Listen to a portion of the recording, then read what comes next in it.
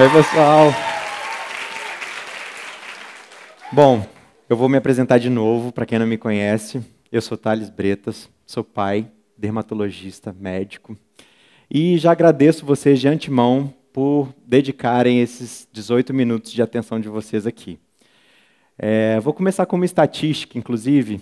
Vocês sabiam que nesses próximos 18 minutos tem 34 casamentos acontecendo aqui no Brasil? E apenas 1% desses casamentos é homoafetivo.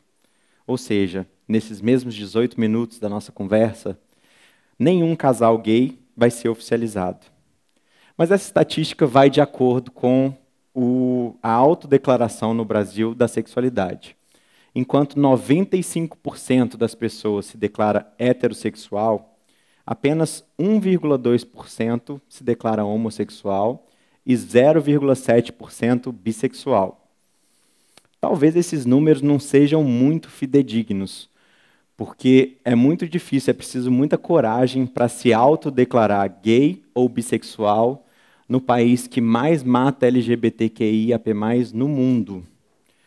Estima-se que, no Brasil, em média, uma vítima é feita violentamente todos os dias. E a gente acha que isso vai melhorar com o tempo, mas as manifestações de ódio e intolerância que têm acontecido só aumentam nossa preocupação. Foi pensando nisso, nessas estatísticas e em tudo que estava acontecendo, que 17 anos atrás, enquanto eu descobri a minha sexualidade, eu me vi num conflito interno entre assumir e enfrentar tudo isso corajosamente ou me esconder atrás dessa subnotificação. Em, então eu comecei, quando eu entrei para a faculdade de medicina, com 17 anos de idade, eu resolvi que se não fosse eu a defender os meus próprios interesses, quem poderia me defender? Não tem um chapolim colorado da causa gay. É, eu resolvi começar a inserir o meu primeiro namorado nos programas sociais da universidade. E é claro que eu encontrei perguntas tipo: quem é ele? É seu amigo, seu namorado? Nossa, que desperdício, dois homens tão bonitos. Mas eu também ganhava apoio entre quem mais me importava, que eram meus amigos e minha família. É, o respeito, a gente precisa primeiro aprender a se respeitar e se impor, para que depois todo mundo possa te respeitar também. E eu aprendi na minha vida que a gente conquista esse respeito através do afeto principalmente. É claro que nem todo mundo te dá essa possibilidade, mas para quem me virava as costas, eu tentava ativar em mim um pouco de compaixão e paciência, porque eu sei que o tempo de evolução de cada um é muito individual. Algumas pessoas nem querem evoluir, né? Mas para essas a gente não consegue obrigar também, não dá para empurrar. Elas vão ter que acertar as contas depois com o universo. É, em 2013, eu passei num concurso público de residência médica para dermatologia no Rio de Janeiro. E na época eu estava solteiro, romântico, desiludido, procurando uma pessoa para compartilhar comigo os ideais de companheirismo, de família, que eu posso parecer meio antigo, assim, meio antiquado, mas meu maior sonho, assim, acima de ser um dermatologista bem-sucedido, um médico, era ser marido, pai e criar uma nova família. E aí eu precisei me mudar às pressas para o Rio, morei na casa do Danilo, que é um amigo meu mineiro aqui de BH também. E um ano depois, não morei um ano na casa dele não, foi só uns 15 dias, arrumei logo minha casa. Mas um ano depois, esse próprio Danilo me apresentou, ninguém menos que Paulo Gustavo, que muita gente conhece aqui. Um cara corajoso, com uma história pessoal de muitas lutas, mas que tinha uma habilidade incrível de fazer todo mundo rir e amar o jeito dele de ver o mundo. E juntos, nós dois fizemos um pacto e a, ficamos mais corajosos para enfrentar tudo isso que a gente precisava enfrentar. E começamos a mostrar para o mundo que o relacionamento entre homens, entre dois homens, pode ser lindo, puro e verdadeiro. A vontade de ser pai era muito grande de nós dois. E dele, principalmente, porque ele era nove anos mais velho do que eu e rolava uma pressão, mas a gente, com uma conversa pouco tranquila, eu consegui dele ter paciência e a gente conseguir planejar como é que a gente ia fazer isso. A gente pensou se a gente adotaria ou se a gente teria filhos geneticamente nossos, né, biológicos, como a maioria dos casais heterossexuais opta na vida. E a gente quis, teve essa curiosidade de ter nossos traços físicos e um pouco do nosso jeitinho nos nossos filhos. Mas aí a gente tinha um novo desafio. Como fazer isso? No Brasil, a gestação solidária era muito confusa ainda na época. A legislação não protegia completamente os pais biológicos. E a mãe, quem geraria o bebê, teria que ser parente de um dos pais. E a gente não tinha na nossa família ninguém que pudesse fazer isso pela gente. Então a gente procurou histórias pelo mundo. E a gente achou a história do Rick Martin, um cantor famoso mundialmente, que tinha feito uma produção independente. É, e tinha sido pai de dois bebês por uma gestação de barriga de aluguel na Espanha. Hoje em dia, eu fico muito feliz que a nossa história também inspira muitos outros casais homoafetivos que têm o sonho de ter família e quando a gente torna isso mais exposto, não chegou nessa parte ainda não. Quando a gente torna isso público, eu acho que a gente aproxima a possibilidade do sonho se concretizar. É... Mas como realizar sonho não é fácil, né, para ninguém, esse nosso também não era tão simples. A gestação de aluguel no, no, nos Estados Unidos é um processo caro, complicado, lento e que a gente precisa confiar numa mulher que a gente não conhece o nosso bem maior da vida, nosso maior sonho, que é o nosso filho.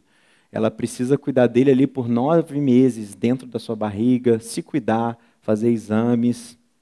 E nos Estados Unidos tem uma medicina um pouquinho diferente do Brasil. Eles são mais menos pessoais, assim, é, eles não sabiam a quem reportar, se aos pais biológicos ou se a quem estava gestando os bebês. Na nossa primeira gestação, a gente resolveu fazer gêmeos, engravidou de Gael e Flora, e infelizmente, com 18 semanas, a, a no, nosso útero solidário, a mamãe de aluguel, começou a entrar em trabalho de parto por um problema chamado incompetência istmo-cervical. O que é isso? é quando o útero não aguenta o peso de uma gestação gemelar e começa a abrir antes da hora. E, infelizmente, com 20 semanas, a gente perdeu nossos dois bebês. E foi muito difícil, assim, porque os bebês já estavam com cinco meses, mas não sobreviveram, já tinha passado aquela fase de risco. E, novamente, a gente tornou pública essa nossa dor.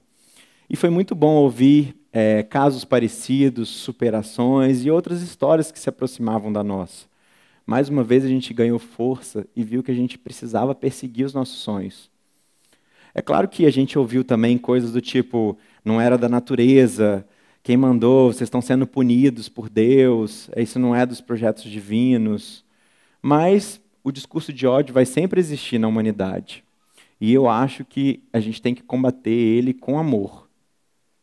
Então, após muitas entrevistas, a gente conheceu duas mulheres especiais e resolveu fazer duas barrigas de aluguel, que nos trariam Romeu e Gael. Nosso maior projeto de vida, né? Depois a gente teve que lidar com o nascimento prematuro do Romeu, que nasceu com 35 semanas e teve uns probleminhas respiratórios, precisou ficar internado no CTI durante 10 dias.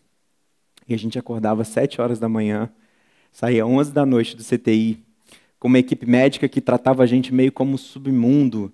A gente não sabia se era porque a gente era gay, se era porque era uma barriga de aluguel, ou se era porque a gente era latino, ou uma combinação dos três, o que eu acho mais provável mesmo. Mas, por fim, depois desses dez dias, a própria equipe estava apaixonada com a gente, falando que nenhum casal defendia tanto a vontade de ter filho e ficava tão presente nos cuidados do bebê como a gente. Ser gay, nascer gay numa sociedade tão homofóbica, te dá uma resiliência, é, te ensina a lidar com esses olhares tortos desde pequeno, umas opiniões enviesadas, um tratamento diferente, só porque a sua sexualidade diverge da maioria. Mas a gente ali, naquele caso, naquele hospital, só queria levar Romeu embora para casa. E assim a gente fez. Dez dias depois, a gente estava com Romeu lidando com os novos problemas da paternidade de primeira viagem. Noite sem dormir, choros indecifráveis, não dá para saber o que um bebezinho desse tamanho quer, se não era fome, não era fralda. Mas a gente não teve muito tempo para lidar com isso, não. Com três dias, chegou o nosso outro pacotinho, Gael. Mas o nascimento dele foi bem mais tranquilo, graças a Deus. Não teve nenhuma intercorrência. E no dia seguinte, estavam os dois nos nossos braços, como a gente tão sonhou. Nossa família estava completa. Com um mês a gente voltou para o Brasil. E voltar para o Brasil e voltar ao trabalho foi muito difícil, porque nós, homens, não temos a licença maternidade de seis meses que a mulher tem, que é essencial. Um bebezinho de seis meses, gente, é muito indefeso ainda, não anda, não engatinha, não fala. Foi muito difícil sair para trabalhar é, e deixar os bebês na mão de outras pessoas mas por isso, graças a Deus, a gente teve uma rede de apoio importante. Babás, avós, parentes, amigos se revezavam para cuidar do nosso bem maior, enquanto a gente tinha que cuidar da nossa profissão também. Há um ano, um vírus que revirou o mundo de cabeça para baixo mudou minha vida e a vida dos meus filhos de forma definitiva, levando meu marido do convívio da nossa família, junto com mais de 6 milhões de outras pessoas pelo mundo. E eu, de repente, me vi sozinho, com dois menininhos incríveis para criar e uma grande responsabilidade. E eu aprendi nesse momento que os sonhos são para ser sonhados e vividos enquanto durarem. Não importa quanto tempo, que o tempo não é uma coisa que a gente determina. Na natureza, quando um animal sai para caça, o outro tem que ficar em casa para proteger a cria. Dificilmente um filhote sobrevive sem a presença dos dois progenitores. Nós, humanos complexos, é, tivemos que aprender a lidar com as adversidades de que a nossa própria inteligência criou, né? De ter que trabalhar, cuidar de uma carreira e cuidar dos nossos filhos, da nossa evolução, da nossa procriação. É, a gente se organizou em sociedade, explorando o potencial de cada um, o que, que cada um faz melhor, e aprendeu a profissionalizar o cuidado com o outro. É, na nossa comunidade, eu não sou só mais um ser humano, mais um animal. Eu sou pai, filho, médico, amigo, dermatologista, e com uma história para contar e um futuro para cuidar. E, acima de tudo, uma responsabilidade social muito grande, porque eu posso influenciar milhões de outras pessoas que estão ao meu redor e que vão ter um comportamento na sociedade em que cada atitude impacta, direta ou indiretamente, todas as outras. E foi nesse pensamento é, de organização, de humanidade, né, de sociedade, bem-estar coletivo, que eu, há 17 anos, resolvi defender as minhas atitudes. Consciente de que ficar com um homem ou uma mulher, independente do sexo, não interferia negativamente no andar dessa comunidade, né, ou em ninguém. Não podia fazer mal a ninguém. E eu comecei a ver que defender essa causa era importante não só para mim, mas para muita gente que estava sofrendo, como eu, esse conflito também. Porque se, não, se eu não comprasse essa briga e todo mundo tivesse essa mesma atitude, a gente não andava para frente. A felicidade individual é muito importante. Eu preciso ser feliz, você também, você merece, todo mundo merece. Mas é impossível ter uma felicidade individual sem a felicidade coletiva. Nós humanos dependemos da felicidade coletiva para estar bem. Você não consegue passar despercebido no mundo e ser feliz sozinho no seu cantinho. Então é mais ou menos por esse raciocínio e com uma frase do Tom Jobim que eu acho que resume um pouco tudo isso que, que eu disse hoje, que eu encerro nessa conversa. É, calma, não encerrei, ainda falta a frase do Tom Jobim. Espera aí, gente, talvez vocês vão gostar mais ainda. Fundamental é mesmo o amor. É impossível ser feliz sozinho. Obrigado, gente.